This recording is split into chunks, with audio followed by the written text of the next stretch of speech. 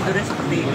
prosedurnya memang seperti itu mungkin dari ini dugaan saya pribadi dari situ mungkin dari Pak Rendinya yang meminta ada apa namanya effort lebih lah ke Bu Lady. Udah di Bu Lady-nya kan memang eh, cukup bulat gitu. Tapi kita tetap apa namanya ke depan hari kan kita nggak ada yang tahu ya gitu kan. Lady bagaimana kita support aja. Gitu Jadi untuk saat ini perasaan lega atau masih sudah lepas dengan akhirnya masuk ke titik ini gitu. jujur mbak sih masih bingung nih pertama kali ya dalam hidup saya kita ada di posisi seperti ini jadi jujur kalau ditanya secara manusiawi saya masih bingung. Makanya saya selalu kalau teman-teman mau nanya eh, apa gimana saya bilang kan doain saya. Jadi kalau sayang sama saya doain saya. Support sistem orang tua semua keluarga seperti apa? Ada kondisi seperti ini.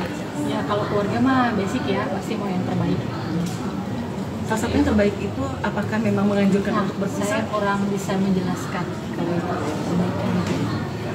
Untuk nafkah gimana Pak? Sampai sekarang masih memberi udah cukup udah cukup ya udah cukup ya. Nggak apa-apa ya. Bu Lady Bu Lady ya aman ya. aman ya. Aman ya.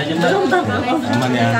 Bu Lady-nya jam 2 ada kerjaan nggak apa-apa ya. Seperti itu kali dikali di boleh sambil jalan nggak? Iya, pasti Jalan seperti ya? apa ada ada perasaan Sedikit aja bang, sedikit aja bang. Bang. Mana tapi kan di sini sama kita tapi kalau banyak yang tanya sama saya pihak sana minta maaf nggak secara internal sama saya tidak ya ya tidak ada sama sekali Tidak ada serumah nggak sih Kak? Maaf ya. dari pihak sana ya Tidak ada sama sekali. pihak Kecewa Mbak Lady dengan kecewa Mbak Lady? Eh, saya seperti yang saya bilang Terima kasih sudah menonton video ini. Jangan lupa subscribe dan aktifkan lonceng notifikasi supaya kamu nggak ketinggalan video terbaru dari Grid.